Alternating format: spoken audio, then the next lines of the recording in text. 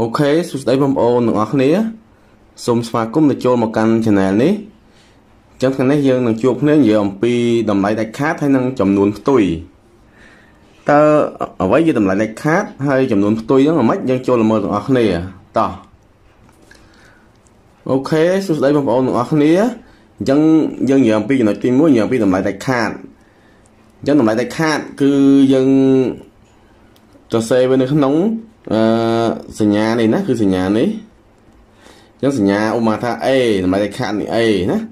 អញ្ចឹងតម្លៃដាច់ខាតនេះ A ហ្នឹងគឺស្មើនឹងអីបាទអញ្ចឹងតម្លៃដាច់ខាតនេះ A គឺស្មើនឹងអញ្ចឹងស្មើនឹង A បើសិនជាបើ A ហ្នឹងធំជាងឬស្មើ0ណាហើយស្មើនឹងដក A បើ A ហ្នឹងតូចជាងតូចជាង0នេះគឺជាតម្លៃដាច់ខាតនៃ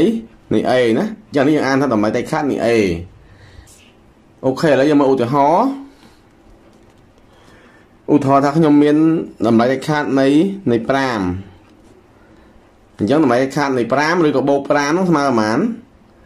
បាទអញ្ចឹងគឺស្មើនឹងស្មើនឹង5ណាដោយសារ5ហ្នឹងគឺធំជាង0អញ្ចឹងគឺតម្លៃខាតវាស្មើ5ដដែលអញ្ចឹងឧទាហរណ៍មួយទៀតឧទាហរណ៍ថាតម្លៃដាច់ខាតនៃដក4ណាខ្ញុំស្មើប្រហែល បាទខ្ញុំណៃលេខខាត់នៃដក4គឺស្មើនឹងស្មើនឹង4ដដែលណាស្មើនឹង4ដដែល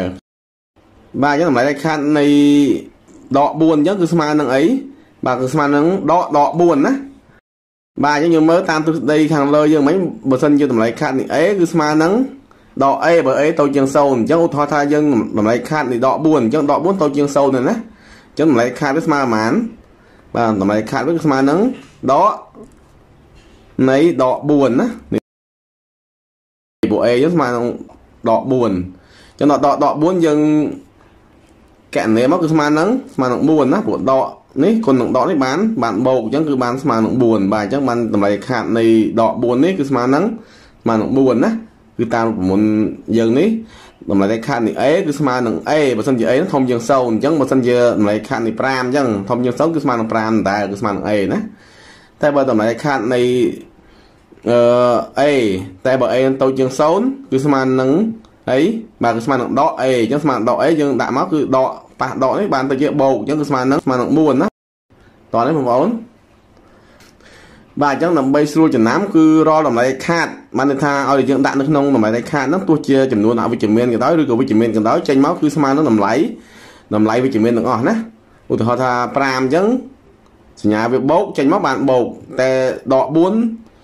វាតូចជាង0តែដល់ចេញពីតម្លៃលេខខាតមកគឺស្មើនឹង4ដដែលណាអញ្ចឹងតម្លៃដាច់ខាតមានប៉ុណ្ណឹងឥឡូវយើងចូលទៅចំណុចមួយទៀតនិយាយអំពីចំនួនផ្ទុយម្ដង okay okay ឥឡូវ okay ឥឡូវយើងមកចំណុចមួយទៀតនិយាយអំពីចំនួនផ្ទុយអញ្ចឹងដូចនេះថាចំនួនផ្ទុយបាទចំនួនផ្ទុយគឺជាចំនួនដែលដែលផ្ទុយគ្នាឧទាហរណ៍ថាខ្ញុំមានលេខ3 អញ្ចឹងផ្ទុយពីលេខ3គឺប៉ុន្មានផ្ទុយនឹងលេខ3គឺដក3ណាបាទអញ្ចឹងចំនួនផ្ទុយហ្នឹងគឺជាចំនួនដែលដាក់សញ្ញាដកនៅពីមុខវាណាជាទូទៅយើងចំណាំអញ្ចឹងឧទាហរណ៍ថា3ផ្ទុយវាគឺដក3អញ្ចឹងឧទាហរណ៍ថា5ផ្ទុយវាប៉ុន្មានបាទផ្ទុយវាគឺដកដក5ចុះបើចំនួនផ្ទុយនៃដក4វិញផ្ទុយវាប៉ុន្មាន បាទក៏ដូចគ្នាដែរយើងផ្ទុយវាគឺដកនៃដក4ហ្នឹងណាដកដក4ណាគឺយើងដាក់សញ្ញាដកនៅពីមុខចំនួនហ្នឹងដែរណាគឺផ្ទុយវាគឺដកដក4មិនថាដក4ផ្ទុយវាគឺដកដក4ហ្នឹងប៉ុន្តែដកដក4ស្មើប្រហែលបើយើងកណនាមកបាទគឺដកដក4អញ្ចឹងមិនថាដូចយើងធ្វើការគុណគ្នាអញ្ចឹងគឺយកសញ្ញាដកនេះគុណសញ្ញាដកមកណាសញ្ញាដកគុណសញ្ញាដកគឺឃើញឃើញសញ្ញាបូកអញ្ចឹង4នៅដែរអញ្ចឹងគឺបានស្មើនឹងស្មើនឹង4 បាទអញ្ចឹងគឺលេខផ្ទុយពីដក4គឺស្មើនឹងស្មើនឹង4តោះនេះបងប្អូនបាទអញ្ចឹងជាទូទៅចំនួនផ្ទុយគឺជាចំនួនដែលយើងដាក់សញ្ញាដកនៅពីមុខវាអញ្ចឹងបើសិនជាយើងចង់បានផ្ទុយពីលេខប្រមាណយើងដាក់ដកពីមុខលេខហ្នឹងមកគឺបានចំនួនផ្ទុយនឹងលេខហ្នឹងហើយតោះនេះបងប្អូនទាំងអស់គ្នាអូខេឥឡូវយើងទៅមើលឧទាហរណ៍ពីចំនួនផ្ទុយអូខេឥឡូវមកឧទាហរណ៍ទី1ឧទាហរណ៍ទី1ខ្ញុំមានដក គ្នាបឬក៏ដង្កៀបហ្នឹងហើយបូកដក2ហើយបិទដង្កៀបមកវិញណាចានេះគេហៅវងកញ្ចក់អានេះហៅគ្នាបឬក៏ដង្កៀបក៏បានដែរណាអញ្ចឹងយើងមើលតើស្មើប្រមាណបាទយើងយើងដឹងហើយរបៀបកណនីប្រមាណវិធីណាអញ្ចឹងបើសិនជាប្រមាណវិធីមានវងកញ្ចក់ឬក៏គ្នាបអញ្ចឹងគឺយើងធ្វើការកណនីវងកញ្ចក់ហើយនឹងគ្នាបណាអញ្ចឹងបានថាវាកណនីវងកញ្ចក់មុនហើយបានគ្នាបឬក៏ដង្កៀបហ្នឹងតាមក្រោយអញ្ចឹងយើងមើលអឺដក2ដក2នេះហើយសញ្ញាបូកនៅមុខវាអញ្ចឹងបានថាយើងយកបូកហ្នឹងគុណជាមួយនឹងដកនេះណាយើងអាចគិតអញ្ចឹងក៏បានដែរគឺបូកគុណដកបានអីបាទបានបានសញ្ញាសញ្ញាដកណាបូកគុណដកបានដកអញ្ចឹងគឺស្មើនឹងប៉ុន្មានបាទគឺស្មើនឹងសញ្ញាដកនេះនៅដែរហើយ ដង្កៀបឬគ្នាបនេះនៅដែរហើយអានេះគឺបូកគុណដកបានដកអញ្ចឹងគឺបានដក2ចេះណានៅដង្កៀបដែរបាទអញ្ចឹងគឺយើងកណនីដកទៀតស្មើប្រហែលអញ្ចឹងយើងមើលដកដក2អញ្ចឹងដកដក2យើងអាចគិតគិតតាមវិធីគុណក៏បានដែរគឺយកដកនេះគុណជាមួយដកនេះដកគុណដកបានបូកណាបានបូកបូក2តែបូក2យើងជាទូទៅដាក់តែលេខបានហើយសញ្ញាបូកមិនដាក់តែគឺស្មើនឹងស្មើនឹង2ណាអញ្ចឹងនេះចម្លើយយើង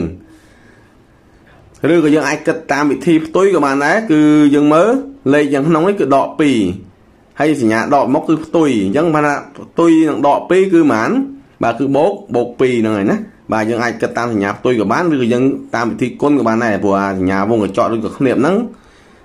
តាំងឲ្យសញ្ញាគុណដែរណាបានន័យថាសញ្ញាដកខាងមុខនេះគុណជាមួយនឹងដក2ខាងខាងក្នុងនេះណាអាហ្នឹងដកគុណនឹងដកបានបូកហើយ2នៅដែរណាតោះនេះបងប្អូន អូខេឥឡូវយើងមកឧទាហរណ៍មួយទៀតឧទាហរណ៍ទី2ខ្ញុំមានដកហើយគ្នាបមកដកវងកញ្ចក់ដក7ហើយបិទមកវិញស្មើប្រហែលណាយើងមើលស្មើនឹងលេខប្រហែលទៅបាទអញ្ចឹងគឺយើងគិតដូចគ្នាអញ្ចឹងគឺគិតក្នុងវងកញ្ចក់មុនមកណាក្នុងវងកញ្ចក់ដក7អញ្ចឹងអានេះគឺដកមកដកលើមកបានថាផ្ទុយហ្នឹងផ្ទុយនឹងដក7ឬក៏យើងគុណក៏បានដែរដកនឹងដកបានបូកណាបាទហើយ1គុណនឹង7ក៏បាន7អញ្ចឹងគឺបានបូក7ឬក៏7បាទអញ្ចឹងយើងសរសេរមកគឺសរសេរស្មើនឹងដកហើយអាគ្នានៅដដែលហើយលេខ7ខាងក្នុងណាបាទអញ្ចឹងគឺអាដកវងកញ្ចក់ដក7នេះយើងគិតមកគឺឃើញ7ណាហើយសញ្ញាដកនៅដដែលទេ បាទអញ្ចឹងយើងអាចគុណក៏បានឬក៏គិតតាមចំនួនផ្ទុយក៏បានដែរគឺចំនួនផ្ទុយបានថាដកបានថាផ្ទុយហើយសញ្ញាដកមកហ្នឹងផ្ទុយហើយអញ្ចឹងអានេះដក7អញ្ចឹងផ្ទុយពីដក7ហ្នឹងគឺ7ណាគិតអញ្ចឹងក៏បានដែរឬក៏យើងគិតតាមវិធីគុណងាយជាងណាបានថាដក1គុណនឹងដក7អញ្ចឹងដកគុណដកបូក1គុណនឹង7បាន7ដែរតោះនេះបងប្អូនបាទបន្ទាប់ទៅយើងស្មើប្រហែល បាទឥឡូវយើងគិតវាតាមចំនួនផ្ទុយក៏បានដែរលេខ7ខាងក្នុងអញ្ចឹងសញ្ញាដកពីមុខអញ្ចឹងបានថាផ្ទុយពីផ្ទុយពីលេខ7អញ្ចឹងផ្ទុយពីលេខ7គឺប៉ុន្មានបាទគឺដក5 7ណាបាទអញ្ចឹងនេះគឺចម្លើយឃើញដក7ឬក៏យើងតាមវិធីគុណក៏បានដែរវិធីគុណគឺយើងបានថាដក1គុណនឹង7ណាអញ្ចឹងដក1គុណ7ឃើញប៉ុន្មានបាទគឺដកគុណនឹងបូកណាព្រោះ7នេះមានសញ្ញាបូកអញ្ចឹងដកគុណបូកបានបានដកហើយ1គុណ7ឃើញ7ដែរ បាទអញ្ចឹងនេះគឺជារបៀបមើលឬក៏កណនីចំនួនផ្ទុយគេធ្វើអញ្ចឹងតោះនេះបងប្អូនទាំងអស់គ្នាអូខេអញ្ចឹងក្នុងវីដេអូនេះគឺមានប៉ុណ្ណឹងតាក់ទងជាមួយនឹងតម្លៃដាច់ខាតហើយនឹងចំនួនផ្ទុយអញ្ចឹងបើសិនជាបងប្អូនមិនយល់ត្រង់កន្លែងណាអាច comment សួរខាងក្រោមហើយកុំភ្លេចជួយ like ហើយ share វីដេអូនេះផងដើម្បីមិត្តភ័ក្តិយើងទាំងអស់គ្នាក៏បានទស្សនាដែរហើយចំពោះបងប្អូនដែលពុំទាន់បាន subscribe លើ channel នេះ កុំភ្លេចចុចលើ subscribe ផងហើយចុចលើរូបកណ្ដឹងដើម្បីទទួលបាននូវវីដេអូនិងវិទ្យាថ្មីៗមុនគេដែលខ្ញុំបញ្ចេញជាបន្តទៀតបាទសូមអរគុណ